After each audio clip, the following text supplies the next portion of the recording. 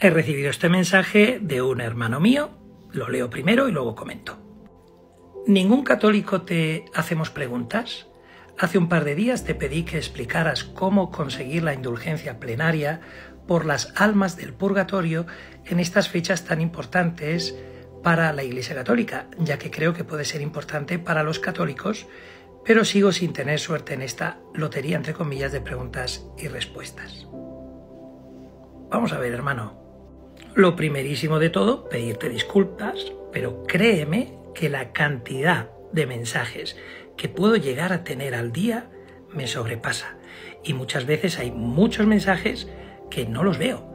No hablo de los mensajes privados, que por supuesto tengo un cúmulo de más de mil y pico mensajes que no he podido leer, porque es una barbaridad diaria, sino que también los mensajes en los distintos vídeos a veces se dan de madre y a veces hay más de 150, 200, 300 mensajes y puede ser que algunos se me pasen. Como este, lo he estado buscando y no tengo ni idea ni dónde está ese mensaje ni en qué vídeo lo has puesto, hermano. Pido disculpas. Así que te contesto viéndolo por donde me lo has mandado. Vamos a ello. En el propio calendario litúrgico pastoral de la Conferencia Episcopal Española encontramos este texto. Indulgencias. A los fieles que visiten devotamente el cementerio u oren solo mentalmente por los difuntos, se les concede la indulgencia plenaria aplicable solamente a las almas del purgatorio en cada uno de los días del 1 al 8 de noviembre e indulgencia parcial en los demás días del año. En el día de la conmemoración de los fieles difuntos, o con el consentimiento del ordinario, en el domingo anterior o posterior, o en la solemnidad de todos los santos, en todas las iglesias y oratorios se puede lucrar de indulgencia plenaria. Como todos los años entonces, la manera en la que podemos lucrar a favor de algún alma del purgatorio que lo necesite es visitando los cementerios y orando por los difuntos, bien físicamente, bien intencionalmente. Para que podamos lucrar esas indulgencias ya sabemos los requisitos.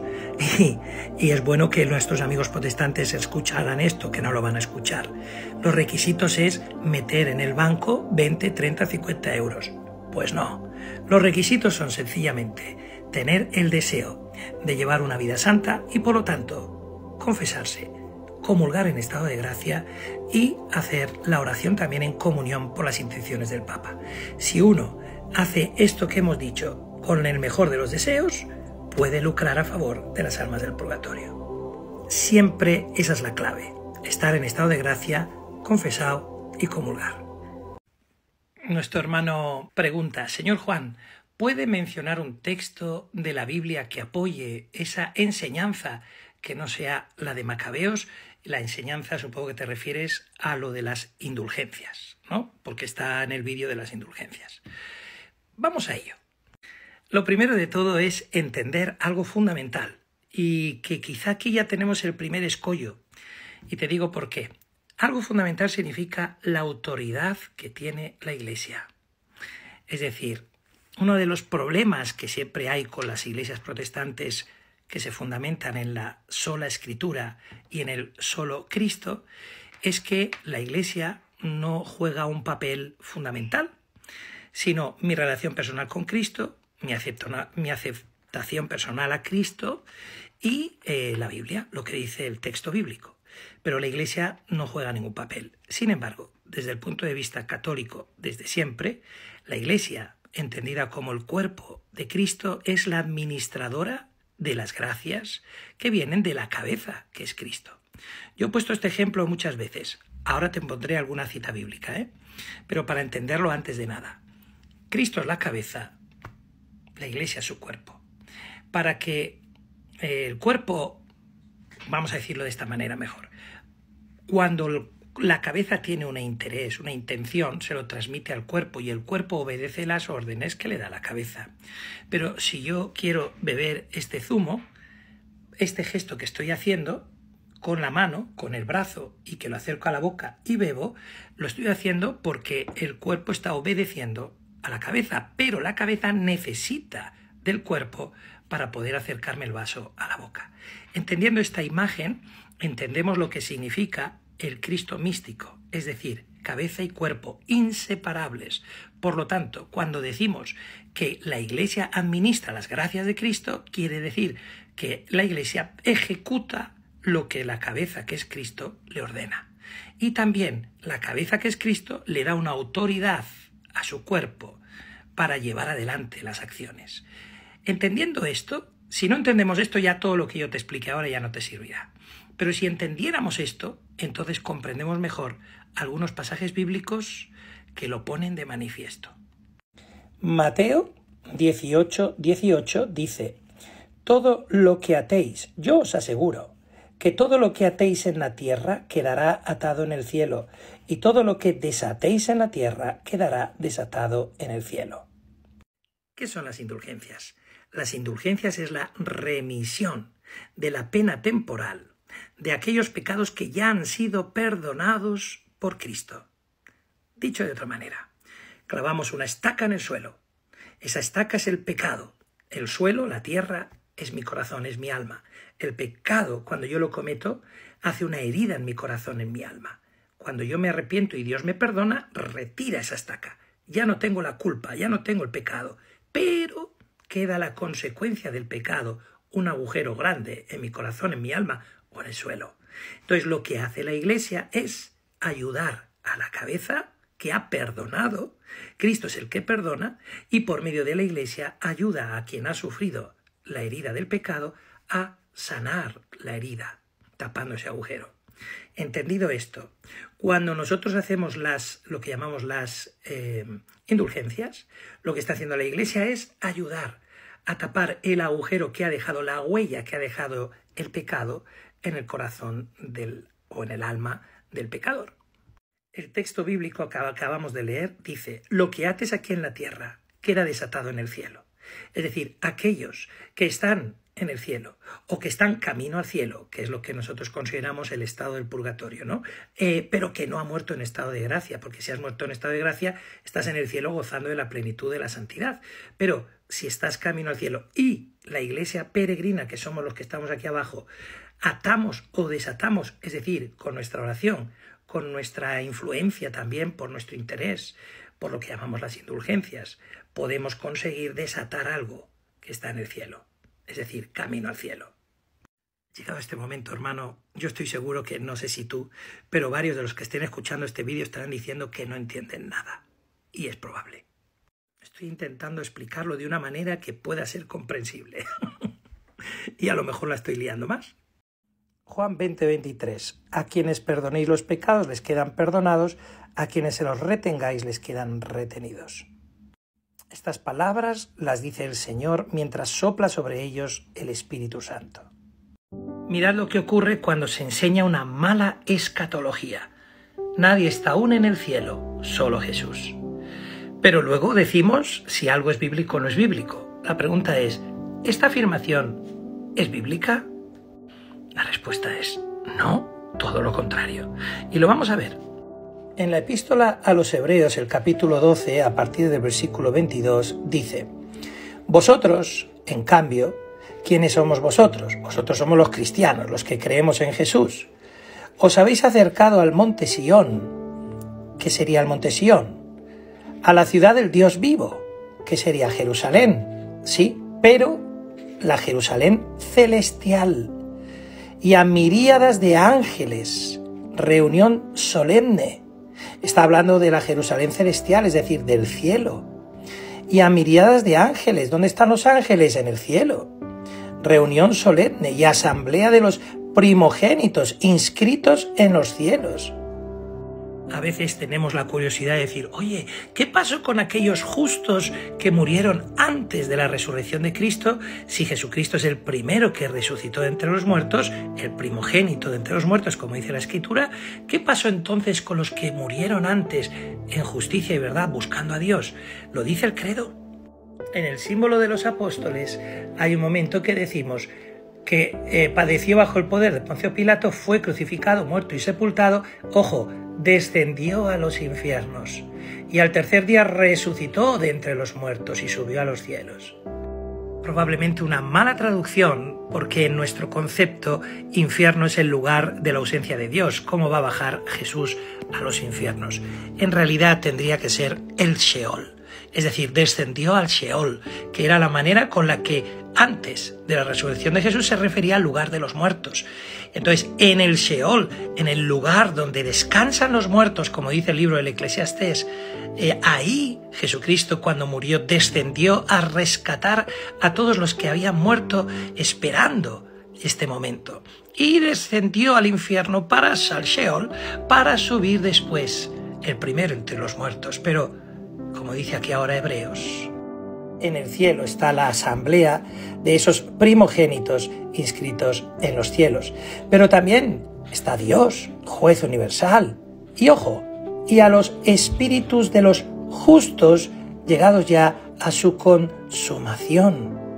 No solamente todos esos textos que ya hemos dado del libro del Apocalipsis, por ejemplo, 5.8 y, y otros, donde se nos habla claramente que en el cielo hay multitudes, multitudes no es cierta esta afirmación de que en el cielo solo está Jesús. Eso es una falsedad tremenda y no es bíblica esa afirmación. Lo acabamos de ver también ahora en la carta a los hebreos.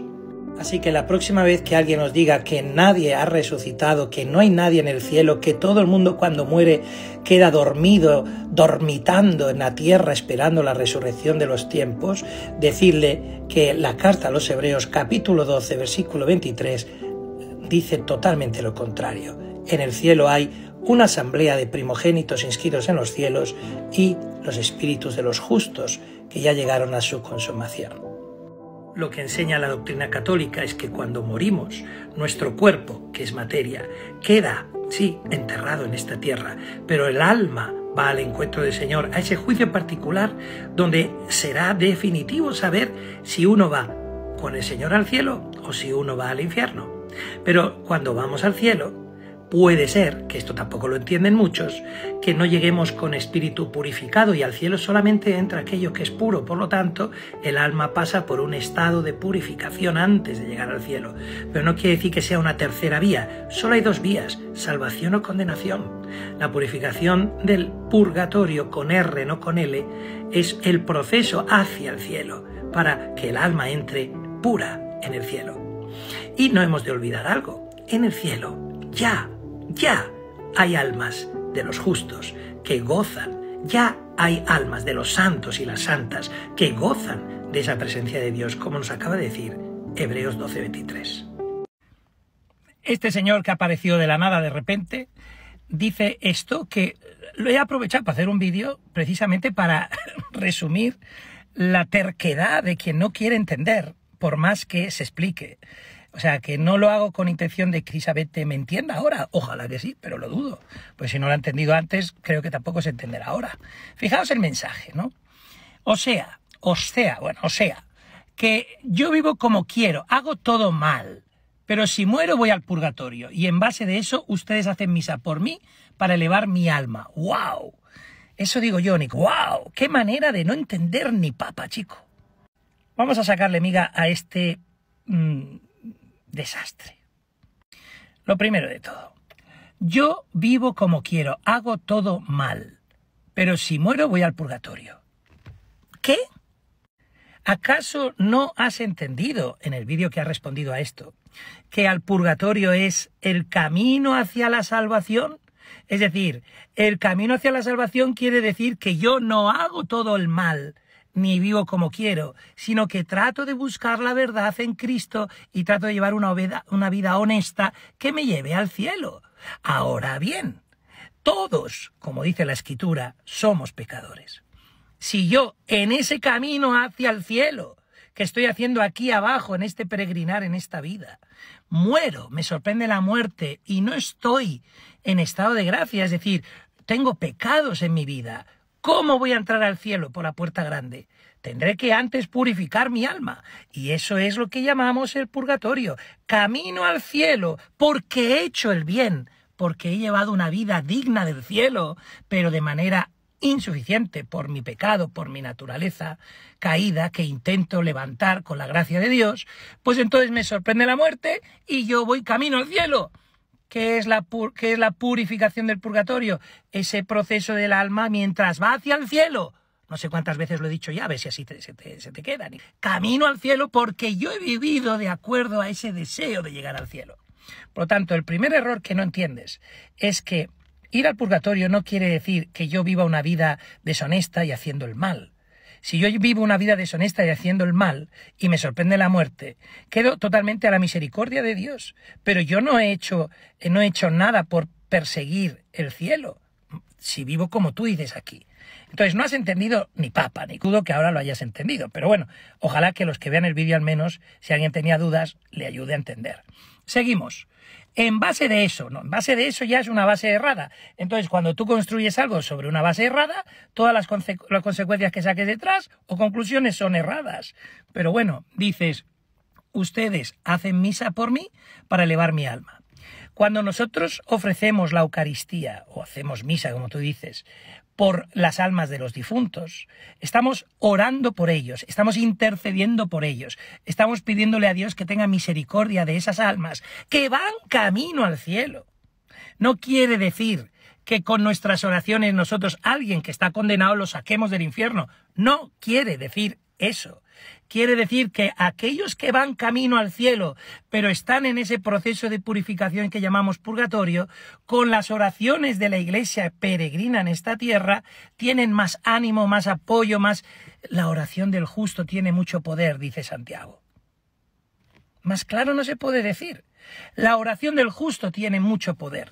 Por lo tanto, si nosotros oramos por nuestros difuntos aquí abajo, estamos uniéndonos a la iglesia celeste para pedir por los hermanos que van hacia la iglesia celeste, pero que todavía están en el proceso de purificación. Punto. ¿Que no lo entiendes? Allá tú. A lo mejor lo entenderás el día de mañana, cuando lo vivas en primera persona, o no, vete tú a saber cuál será el final de cada uno, ¿no? Pero ojalá que lo entendierais, no es tan difícil de entender. Otra cosa es que uno esté de acuerdo o no. Es decir, uno puede entenderlo y aún así decir, no estoy de acuerdo, ¿vale? Si la fe es libre, cada uno es libre de creer en lo que quiera. Hay gente que cree, que cree, yo qué sé, que, que, bueno, mil cosas. La fe es libre. Ahora, no entenderlo, no entender una explicación, eso, eso ya es un problema de, de esto, no de fe, de entendimiento. Así que ánimo, que hijo, de verdad, no es difícil, chico, pon un poquito de tu parte.